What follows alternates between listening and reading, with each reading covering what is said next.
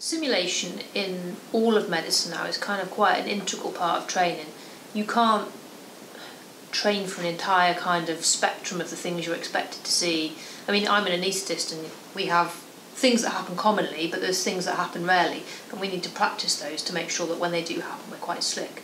Um, I think in the pre-hospital environment, you've got many more of these kind of less common things happening, um, less common instances happening, um, and also we're in a quite a high pressure environment. So even if it's a reasonably straightforward um, procedure or patient, um, that can all be made more complex by being in a complex environment that you've got no control over. Can you tell me what's going on, please? Yeah, just bear with me. This young man's going to come, to, come and talk to you and keep you comfortable. And then as soon as we've got on top But you're not telling me what's happening today. I'm a little bit busy, Dad, okay? I'm really sorry. I will come and talk to you in just a minute, okay? But at the moment, I'm going to have to ignore you because I need to treat you okay? I need to get on top of you. Practicing the things we do have control over, like procedures such as a rapid sequence induction anaesthesia, um, so that it's kind of it's muscle memory. It's kind of we're not thinking about it. It's almost automatic. Um, means that then when we get onto an actual job uh, and it's complex, that that part of it's a little bit more automatic. So we're not having to think about it so much. Um, and that allows us then to kind of free up that bit of our brain to kind of deal with the other complexities of the situation. We've got doctors coming from all over the UK now coming to work for our service who may have worked for other services um, and to a point, you know, treating a critically ill patient is the same wherever you work. Um, but the way we run things may be slightly different to another service, and certainly our geography and our hospitals are different to other, other areas. Um, so part of the training weekend was to get the newer doctors using our standard operating procedures and using our equipment because they may be used to another system, um, and just get them used to our way of doing things and checking that they'd learned our SOPs and, and ways of doing things.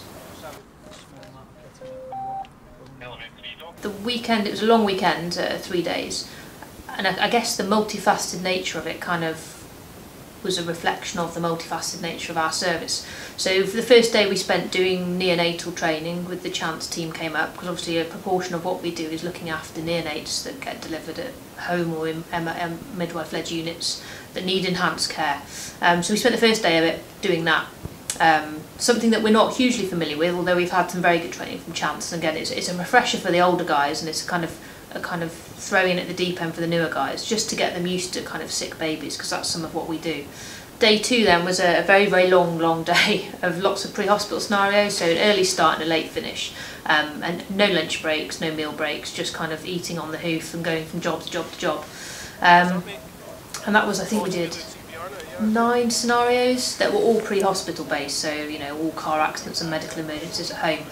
Um, and they were right through from you know babies right through to elderly people having a host of kind of traumatic or medical insults. Um, and actually, because I, I did this last year, we did a two-week accelerated training program for all the new people that started. So I kind of wrote them from scratch, and we had about 50 different scenarios then.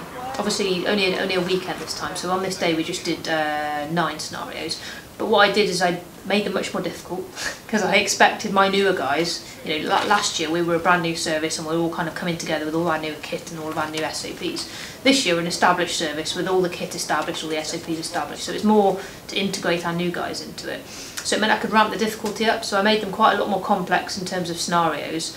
Um, and, and what I actually did is rather than just making them up like I did last time, you know, um, we looked at all of the really interesting jobs we've had over the last 18 months. So all of the jobs that they did over this weekend were real life jobs that the service has actually done that I kind of recreated into a scenario. So they kind of, it's interesting to actually get them to do jobs that have been done by the service already.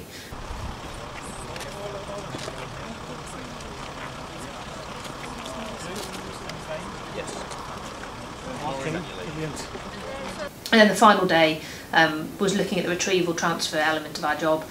Um, so going into minor injuries units, going into other hospitals, picking sick patients up and, doing a bit of retrieval transfer. Um, so then they, they did a whole bunch of scenarios related around that. And again, I tried to use real real jobs that we've done in the last kind of 18 months just to make it a bit more realistic and just to try to put them into some of the challenging situations that we've faced in the last 18 months and see how they did.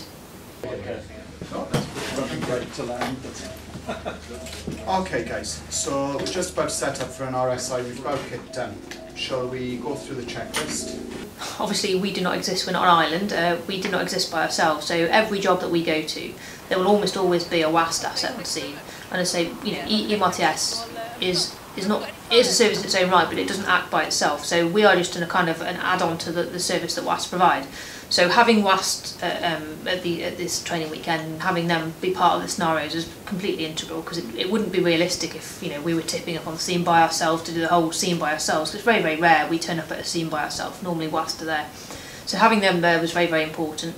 Um, we also had some of the search and rescue paramedics came along, so we're increasingly doing more and more work with the search and rescue paramedics. Um, partly because they've just, you know, they're, they're new like we are, their, service is new, and we're just learning a little bit more about what each other do. And, and certainly, you know, there's, there's lots of jobs that they go to where potentially we can add benefit, uh, and lots of jobs that we want to go to often, you know, when the weather gets bad, that they can enable us to get to.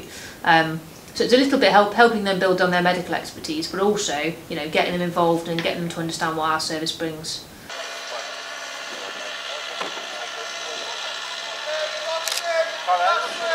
Oh, it's, it's Cindy. Hi, Cindy. I'm Tim. This is. Right, we're part of the. Uh... Okay. So, where, where's the paint? we had a load of guys up from Cornwall Air Ambulance actually. So Cornwall Air Ambulance are a little way behind us in terms of doctors on the aircraft. So they have a paramedic model still, but they're just starting to get some doctors on board. So I think they just, a couple of their doctors just came up um, just as a kind of training thing for them really, just for them to get a flavour of, of what, what a kind of high performing doctor-led service is like.